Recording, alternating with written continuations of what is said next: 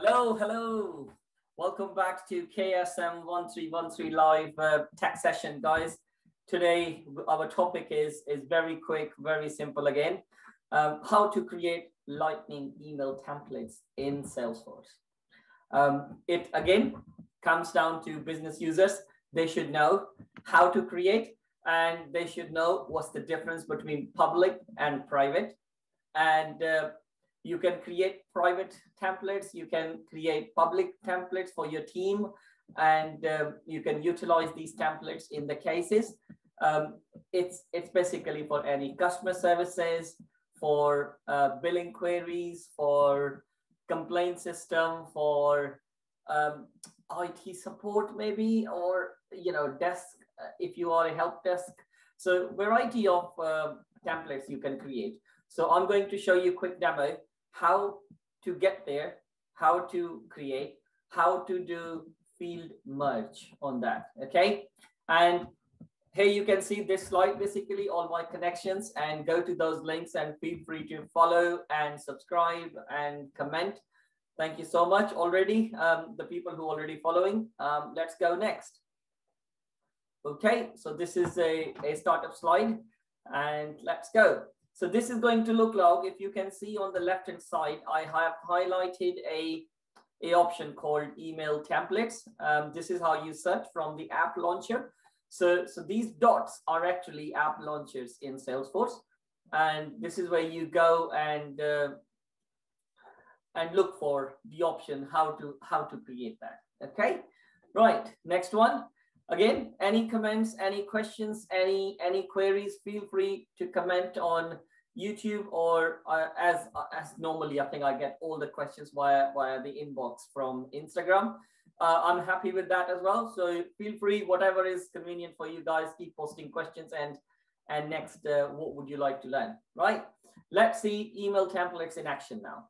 Right then, here is I'm logged in as a Salesforce, and you can see this is home and uh, cases and contacts and account. So what we need is um, email templates. So I have already opened a tab, but how to open this tab? So let's close this and go to the app launcher. And I'm going to type in email. And here is email templates. And I have created a created a one, one dummy template here, which you can see. So when I click on this, I can see so much information already. Um, so where, where I can see the description, where I can see response uh, description as well. Uh, it's, it's, it works with the title. What would you like to call it yet?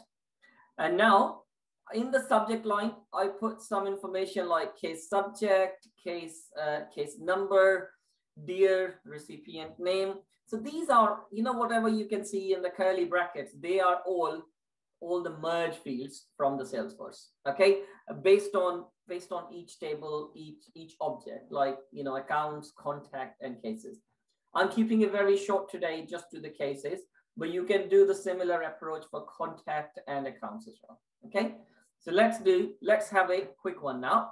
So I go back to email templates and I would click new. Okay, so now what I would like to create is first of all this is my um, maybe case case comment updates. Okay, and now what would you like to call as a description? I would say here um, update to lines. Okay, and the subject. So now either I can I can copy and paste from my old templates if I if I want to, and I can also use here and I will come to come to the object. So which object I'm going to choose. So first of all, from the private email templates on the above entry. So if you can see here, so you know what I did? I actually went straight to merge and I can't see any object. So I can see these are the default. So now what do I need on the left? Which object I'm going to select with? Because these are all standard right? Out of box Salesforce, they are showing you recipient, sender, and organization, okay? But I need what fields I need from which object, okay? In order to select that, I need to cancel this page. I need to go back here, related entity type. This is a very important field when you're creating any template. So first one is email template name. Second is the description. This is the critical one I need on case. If I need on accounts, if I need on contacts, right? Then, then you will get accordingly what object you're going to choose, you will get those fields. Okay, case. Right, I would like to keep it public and I would like to go to subject. Now you will see the difference. There you go. Can you see case? I want a subject. I got subject and I put insert here. Okay, so I need to, everything goes to the body. So you have to copy and paste here. Okay, now I go back and I choose here and I do a number. So let's do the number. And I'm on the case and I do the number and case number and it insert. Okay, so then again, copy this and paste. Right, so now this is below is an email body. Okay, I put there. Um, and then from here, I again go back to the field. This is the last one I'm going to show you. Then we will go to the next step and I'll show you some shortcuts as well. Okay. So now go back to the case and uh, either we have a recipient name or you can choose supplier name based on your um, based on your uh, approach, what exactly uh, you, you're looking for. So let's say I'm going to do recipient name and I will say inside and that will straight come here. And then I would write all my email body and then start with signatures. Okay. It's exact. So what will happen is, so I'm going to cancel this and you will see, go back to, I'm going to create my, my template that originally created.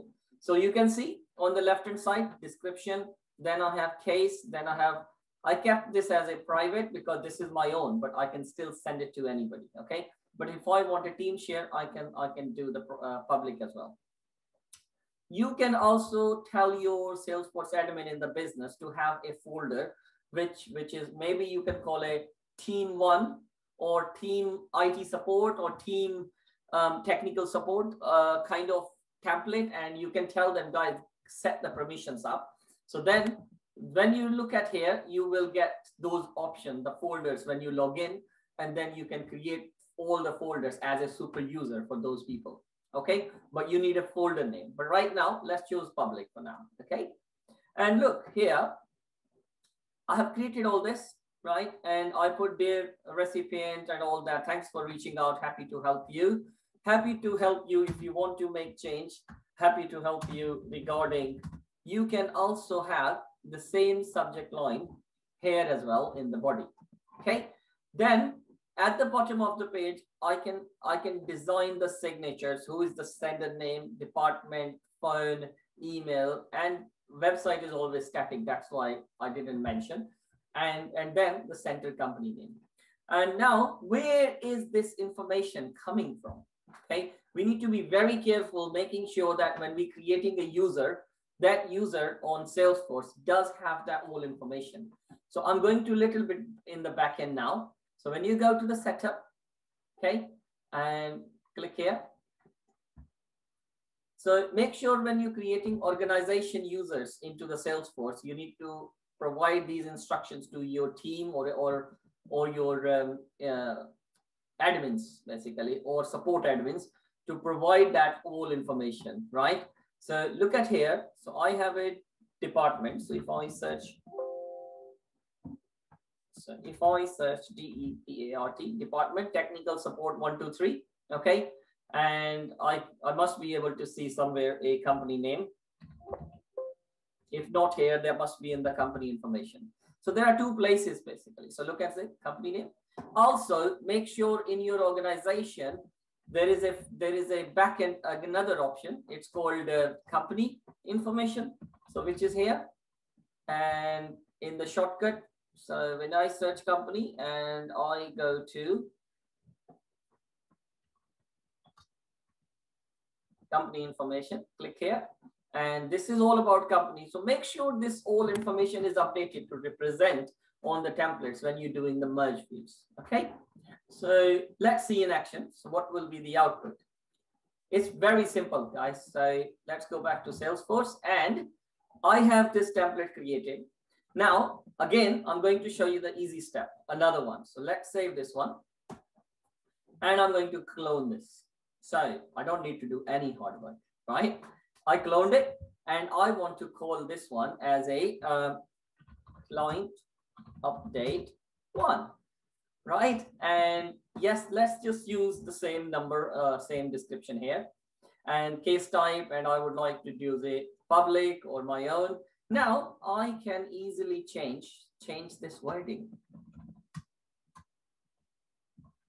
Okay, now what will happen is here, do I need the whole wording? I don't need it. I can just remove this wording and I would look for, do I have any mail merge fields, right? So I uh, insert merge field, sorry. And then I look for, um, I look for some updates, right? Um, internal or description, sorry, my spellings. So you can add the description, the whole description will come here, right? Okay. Or, or you can have a, let's see how many fields I'm getting from here. So you get thread, email, that is very beneficial as well because that will keep the previous conversation if you need the, the whole thread ID and it will interact directly email to case functionality. Okay. But I'm not going to detail about any anything related um, the threads basically because that will be more technical. So your work is mainly focus on the what fields you can see and and what you can you can directly come into. Okay. And then you can use this template for any next step, uh, what you uh, need for case comments. You can copy paste data here, and then let's just save this one. It's all here, okay? Right, so I have created a new template, cloned it, will take only less than one minute, and next template is ready. Um, where the team needs to send some kind of updates to, to the client or the steps to the client, they can choose this template, start typing and send the steps to, to, to the client, right? And now, now the next step, how to choose these templates when I'm using the real time. So I come back to the case. So let's pick up any case that I have created here. And I come back to the emails. And then from here, I scroll it down and where you can, uh, so these signatures actually, they are coming from somewhere else. So what I'm going to do is, let's remove these signatures. Okay. And what I'm going to use is click here, insert, and I will use first response. All right. Okay, look here. So the whole template comes here. Every single information. Do I want to see the preview? Yes, I can see the preview. Look here. So on the left-hand side, I don't have phone number added. That's why it's, it's empty, but I have emails. I have web, I have company name, I have the signature of the uh, uh, the sender. Look, I'm also getting the, the name of the, the person in the contact. So I'm sure if I scroll it up, look, this is the contact name. It's it's here. It's all matched up. Okay. So now let's send this email. Let's see how it looks like when I go to external. Okay, email sent. It's been recorded on the right hand side. You can verify it if you click here, right? It's all added. Now let's go to the my mailbox. That let's see if I have received the email. There you go. Started failure and okay, looks safe. So I have just received the email on behalf of this email from the Salesforce, blah, blah, blah. And I get all the signatures and the same template. Okay, the subject line was starting generator after electrical failure and the case number. So look at this. So thanks for reaching out. I would like to happy and regarding starting generator after electrical failure, right? So this is the whole template. Guys, hope you like it. This is short and easy one. Again, how to create email templates, the difference between private and public folders. You can have your custom folder by requesting to your admin team and um, and you can you can carry on using okay so i'm sure now you can create multiple folders and how to use insert field for different objects if you have any questions please keep comment and uh, send me a query or anything happy to help and uh, we'll take next video accordingly okay Thank you so much. Have a good one, guys. Guys, thank you so much for watching the video. Um, please don't forget to subscribe and comment and uh, give me more ideas. Also, I, I do have a link for all my social media contact, which is also on this slide. It's linktr.ee slash ksm1313live. Thanks again. See you on next video, guys. Thank you. Bye.